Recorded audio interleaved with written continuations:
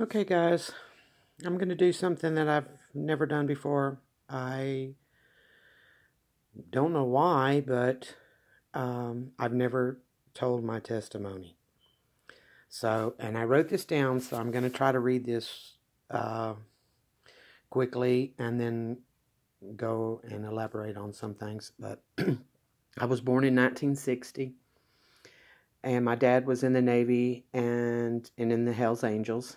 My mom was a phone operator, and uh, she also um, was a car hop. Back then, they wore roller skates and stuff. Uh, I found out three years um, my my mom's family was in the occult background. Uh, my mother never uh, forced it on me and never really saw it. Occasionally through the years, I saw a form of tarot cards, uh, but I didn't really know what it was. I remember going to all different kinds of churches when I was little. I remember one incident in a Catholic church. I refused to uh, take the cracker, and I'm not down in any churches, y'all. I'm just telling y'all my life experience and how I got to where I am today. anyway, I refused to take the cracker and the lady kept trying to force it down my in my mouth and uh, it made such a ruckus that they had to go out and get my mom and my mom came and took me home. And then the last time i remember my parents going to church i was sitting in the audience and i uh, seen both of my parents be baptized. I remember a lady uh, I, we, we didn't go to church or anything like that and i hadn't seen them go for a long time then I remember this lady came up and she kept asking my mom if we could go to Bible school. And I was about seven or eight years old. And uh, so my mom finally agreed. And um, I went three or four times. And uh, this one day, uh, after Sunday school, I came home and I was playing Barbie dolls out in the yard with a friend of mine. And I was pretending I was a minister. And I was preaching to her and I was preaching to those dolls. And uh, I heard God's audible voice. At the time, I didn't know this till years later. God reminded me of that day. But I heard my name being called Tammy. And it wasn't my daddy's voice, and it was I didn't know who it was, but it was very strong, very stern voice called my name. And I said, What? Uh, my friend says, what? And I said, I heard my name. She said, I didn't hear your name. So we continued playing, and then I heard it again. And I said, What? And I continued on playing that I was preaching to those dolls and her, and I never heard it again. Um,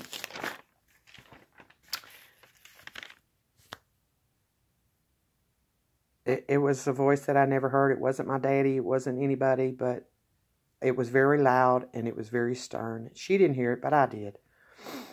Uh, also, I uh, it, it seemed like things started changing for me. I started seeing things and creepy things walk by my window or in my room, and I would tell my mom, and they they just didn't have a clue. Uh, I remember us moving a lot from place to place because my my dad would uh, constantly was changing jobs. He was an alcoholic. Um, he drank about a gallon of whiskey a day if it was a bad day. If it was a good day, it would last about three days. Um, my grandfather committed suicide because of incest. And um,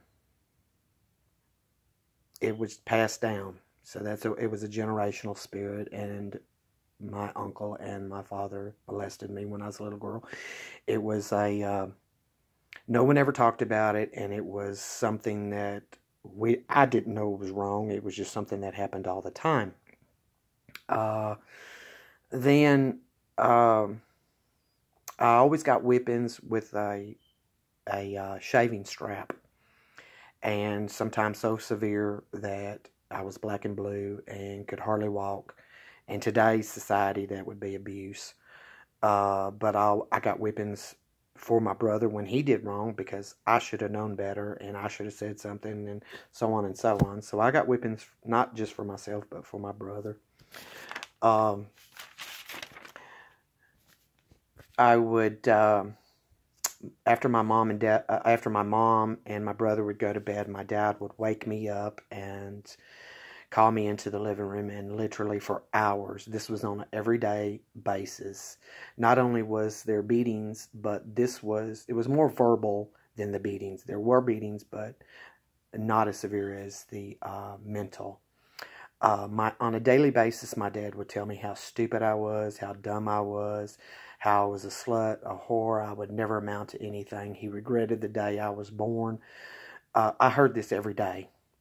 Uh, and one day after walking home from school, I was gang raped by a bunch of boys. I literally just couldn't take any more of home life, school life. I ran away when I was 16 years old. The only lifeline that I had was my best friend across the street, and she talked about Jesus all the time. Uh, I got banned from going over there. I was forbidden to go over there. I was spending too much time over there, and so I couldn't take it anymore. I left home. Um, and so when I left home, I had so much rage, anger, and bitterness in my heart towards my dad. I, I had murder in my heart. I got into drugs, alcohol, and prostitution. I was considered an alcoholic at 18. And at 16 years old, I got a job as a bartender at 16 years old in Houston.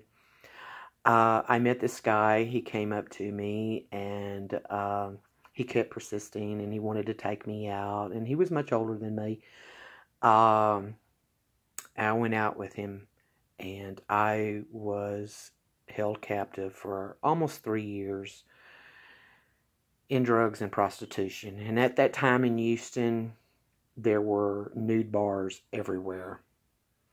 So I was not only forced to dance nude, I was forced to take drugs, quaaludes, uh, PCP, reds, every kind of downer you can think of.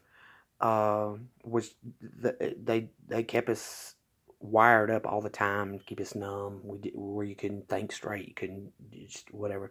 There was no trying to escape or getting out. And one night um, they allowed us to go swimming, and I took three quaaludes and I jumped off a diving board. I wanted to die. I wanted out. I, I was done. Uh, dove off the diving board, and four days later I woke up, and uh, they they said that I was dead at the scene. Um, I guess God had other things planned for me. But uh, they said I was a risk, so they locked me up in this uh, little camper for months. Uh, they fed me, but I, I was not allowed out uh, because I was a risk. So uh, I, I know it was months and months that I was there. And one day they went out to get supplies and left the door unlocked, and I got out and I ran, I ran, I ran, I ran, and uh, this lady came uh, came up to me and she says, "I don't know why, but I'm supposed to help you." And so we went to her house, and I was there for three or four days, maybe a week, and he found me. And uh, he came to the door, and she told me, she says, "Don't, don't come out. Whatever you do, don't come out. I won't let him in." And I was like, "Okay." And uh, they were out there for about an hour or two, and uh, so uh, I don't know what was said, but she came in and she says, "We gotta, we gotta go." We, and we started packing up everything. She told me to get all my stuff, and we left. We went to a house that, um, excuse me, was full of guys that were from Saudi Arabia, and uh, I wasn't afraid, but I was still just wound up from you know escaping these guys, and these guys were bad guys, man. Um, I mean, they would kill you. I, I, I remember an incident with a girl that refused to do a trick, and I never saw her again. Um, but I had been beaten for refusing to do tricks. Uh, if I did not give them the money that I made that day, I would get beat. If I didn't make any money that day, I got beat. Um, but anyway, I got out, went with her. We went to this guy's house, and lo and behold, my best friend, God had spoke to her, and at the time, I think she was in Waco, Texas, uh, but she came looking for me. She found me in the middle of Houston. Came up to the door, knocked on the door, and they said, uh, You have someone here. How did they find you? Well, she took me home, and I stayed with her for a while. And I just was miserable inside. I just, I had no relationship with God, and I didn't even know where to begin. Even though she was ministering to me, I still just wasn't getting it. I left, went out straight out, went back into the drugs and the prostitution and the whole nine yards. Um, I was out doing everything you could think of. I had a dream of my mama, and it was a very vivid dream that she was very, very sick and dying. And so I made my way up to where she was, and lo and behold, she was very ill uh, my dad started in writing on me, and I, I, couldn't stay there, so I was staying with friends, and uh, had went to. Uh, I went out with this guy that was on a motorcycle, and we went and watched this movie. And I didn't want to watch it, but we watched it, and it was The Exorcist. We left, and uh, as we were going through an intersection, a woman decides to turn left and he slams on the brakes. I went flying over him and I slid on my belt buckle. And they told me at the emergency room that that belt buckle saved my life and the blue jeans and the cowboy boots that I had on. Not even, uh, I say about two weeks later, I was partying with some friends and we were all going back to my apartment and uh, I was sitting on top of the car and we were going real slow and he decides to slam on his brakes. I went flying off. He rolled up me. It got to here. When it got to here, it slung my body up against the curb. Uh, he ran back down me and then went back up. And when he went back up, the wheels locked on to my hip. Uh, they pronounced me dead at the scene. Um, the I don't remember the paramedics, the nurses, or anything. I remember holding Jesus' hand and begging him to let me live, and I told him I would serve him. I woke up in the hospital, fractured pelvis, messed up leg, messed up arm, scratches all over my body, but I lived. I started kind of wanting to know more about Jesus and I started getting into finding out about Jesus, and then I met my first husband. I didn't know until after we got a divorce that he was in the occult. Um, you see, all these things were familiar to me, but I didn't know what they were. So we got married. Um, he was very abusive to me and my child. Uh, would work, and every Friday night he would drink it up. I got tired of it and I came back to Texas. I uh, went to work. I got a job working at Jack in a Box. Worked nights and raised my son in the daytime. One night I went to work and uh,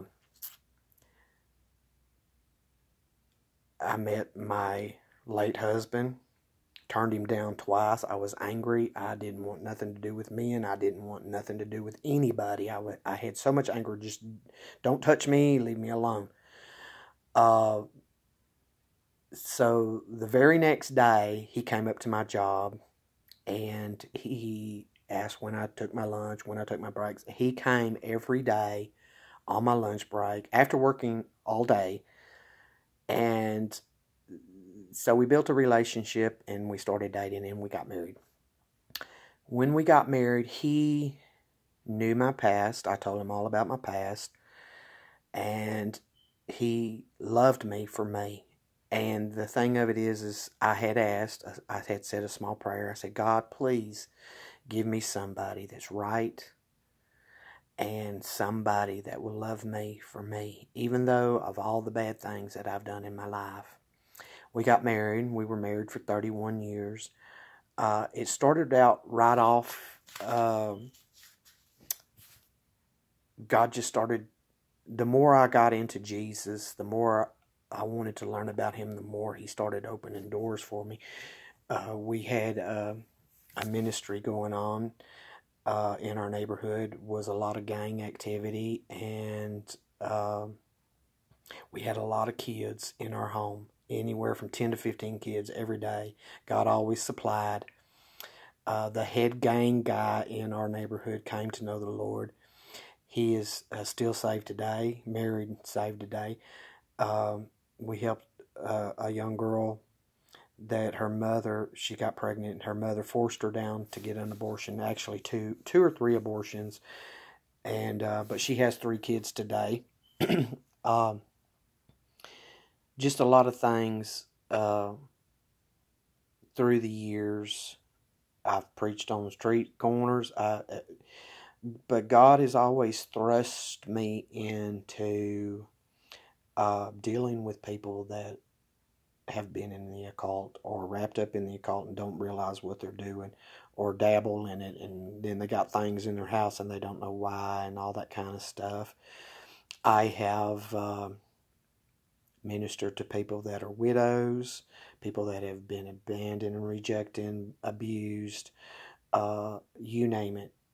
I never really realized my testimony until this last month or so, but when I finally came to the saving knowledge, um, God started opening the doors. But what really opened the door was um, early on when we were married my husband came home and he picked up my son and threw him across the room. And I, it didn't look like my husband. It didn't sound like my husband. It, it was not my husband. It was a demon. I didn't know that then. But um, I started praying and I was praying silently. I was praying in my mind. And he got up in my face and it was not him. His face was completely distorted uh, it, it, it was that demon, and and I, I didn't have a clue what was going on, but I, I kept on praying, and he he just screamed in my face, "Stop that praying! Stop that praying!"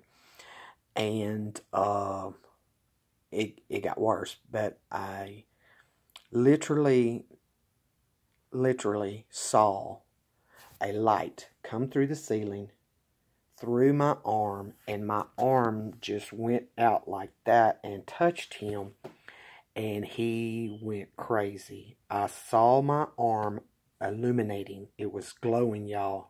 I kid you not. After that, uh, I called the pastor. He didn't want to have nothing to do with it, but he said he knew some people in the church would come. And the piano player and our Sunday school teacher were spirit filled. They came over with a bunch of guys that they knew from another church that were spirit filled, and they literally spent hours on my husband, and I seen things that I will never forget. Um, and that was my beginning in this. Um, through many years of God just teaching me and and showing me things about the spiritual realm um, has just blown my mind through the years. Um, my husband died of cancer. It's been almost eight years. My ministry kind of just stopped. Uh, I've done a little here and a little there. God moved me here about almost five years ago. And, uh, well, it's not been quite five years yet, but uh, I was attacked when I got here. I had a nosebleed for two weeks, almost drowned in my own blood. Had to get my nose cauterized and uh, when I came back home, I heard this spirit laugh and said, That'll teach you. I knew then the war was on. I have had encounters with witches and warlocks here. Uh, and I know I'm here for a reason, and I know, uh, and I'm doing a little bit here and there and that, but God said there would be revival here, and I'm waiting on God, and I'm waiting on Him to provide. Um, I do what he tells me to do, go out when he tells me to go out, speak when he tells me to speak. I have through the years, I've had a lot of things broke off of me. Um, and still, still try to uh, conquer fear, conquer, uh, uh, you know, um,